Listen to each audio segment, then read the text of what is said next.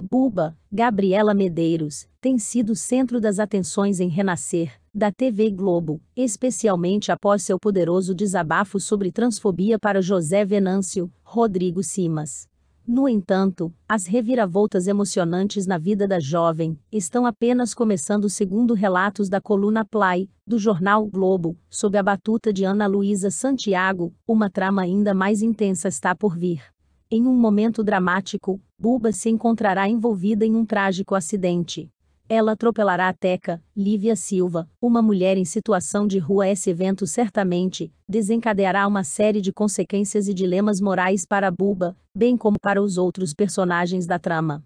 Com tantos desafios à frente, é provável que o público seja levado a uma montanha russa de emoções, enquanto acompanha o desenrolar desses acontecimentos na trama de Bruno Luperi, adaptando a obra de Benedito Rui Barbosa.